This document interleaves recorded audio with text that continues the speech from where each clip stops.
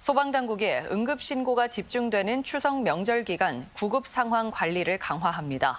전북자치도 소방본부는 명절 기간 신고 급증에 대비해 접수와 출동 지령, 유관기관 연결을 처리하는 시스템인 119 구조대를 기존 4대에서 9대로 늘리고 응급구조사 등 3명의 인력을 추가 채용했다고 밝혔습니다.